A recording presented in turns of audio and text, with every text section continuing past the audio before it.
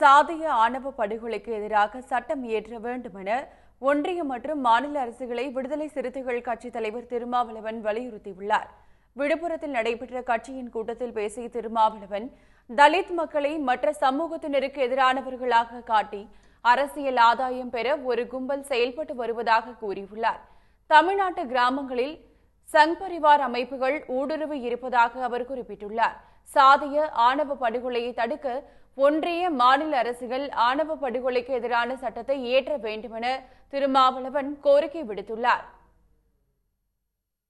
ஆணவ கொலை தடுப்பு சட்டம் வேண்டும் என்று அனைத்து தரப்பு ஜனநாயக சக்திகளும் மனித உரிமை ஆர்வலர்களும் சாதி ஒழிப்பில் நம்பிக்கை உள்ள ஜனநாயக சக்திகளும் ஒருங்கிணைந்து ஓங்கி உரத்து குரல் எழுப்ப வேண்டிய கோரிக்கை ஆணவ கொலை தடுப்பு சட்டம்.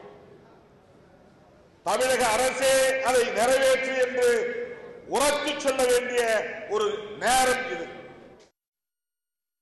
கோயில்களுக்கு நன்கொடை கொடுப்பதை போன்றும் மகளிர் சுய உதவி குழுக்களுக்கு உதவி செய்வது போன்றும் ஒரு கும்பல் ஊடுருவி செயல்பட்டு வருவதாக திருமாவளவன் குறிப்பிட்டுள்ளார்.